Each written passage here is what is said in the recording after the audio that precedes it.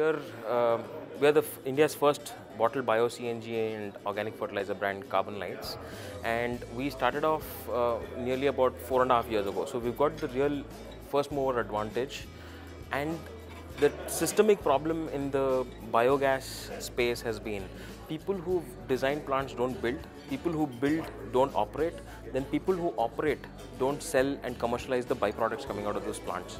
Whereas Carbon Masters have we do it end to end, and we sell it under the brand name called Carbon Lights. The two byproducts that we generate, the both the gas and the fertilizer, and we manage the entire inbound logistics. Make sure that the waste is in.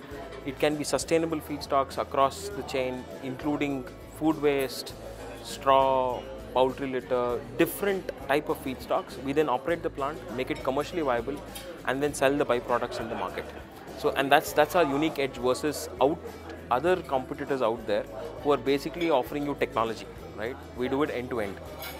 One key point that I've realized across the last eight, ten years of my journey is look for the problem, have a purpose in you know what you're doing.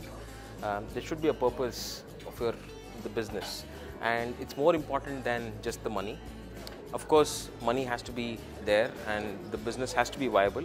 But it's more important that you're going after what problem are you really solving, and I think that's one of the key things that I've learned, and I'd like to pass it on really. Well, it's the passion. It's about waking up and saying that let's let me solve this problem. And as you know, we are taking on one of India's biggest problems, and as well as uh, taking on the issue of solving climate change. So we can't. We we have a huge problem in front of us, and that's enough uh, motivation for me to keep waking up and saying and saying that let's solve this problem.